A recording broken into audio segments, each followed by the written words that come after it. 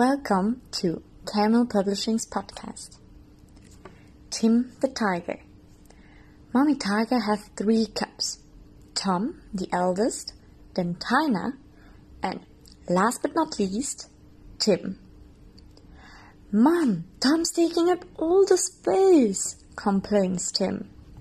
Mom, Tina has the best bit, whines Tim. Mommy Tiger wanders off. Stop messing around over there. But Tom tumbles into the river. Are you curious about what's going to happen to Tom? Then check out Caramel Publishing on caramel.be.